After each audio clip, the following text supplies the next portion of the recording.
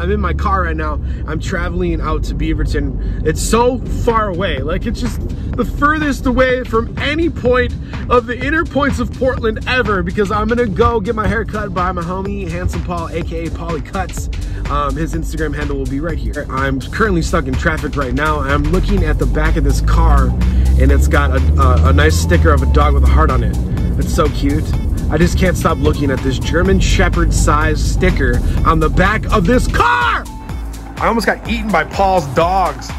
Damn. We're gonna do a burst fade, bro? Let's do A burst fade? Hey, if you don't know uh, or recognize where Paul is from, if you've ever seen the movie Hook, he was one of the Lost Boys. True. Hell yeah. For some reason, every time me and Paul go to 7 Eleven to get anything, we always get one order of wings, but then they give us all the other wings for free. I don't know why. It's, it's a good colonic.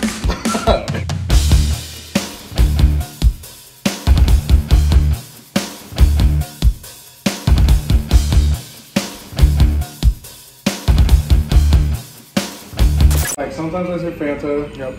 And then sometimes I fa- say Fanta. Sometimes you don't know how to say it. But yeah, I don't know what to say. Like I don't know who's gonna judge me, so I'm just like Fanta. like, Can oh, you got that strawberry Fanta?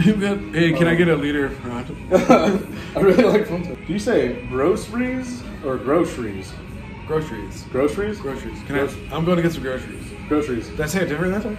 I, see, Groceries. You don't really think about it until someone asks. See, here's a tough word too. Brewery. Brewery. Brewery is a tough, a tough word. How do you say PJs? I'm not even gonna say the word. Pajamas. Pajamas or pajamas? Pajamas. Pajamas. Man, I said, said it, I said I'm it saying. differently both times. See? Oh, sorry, that was toothpaste. Yeah, okay.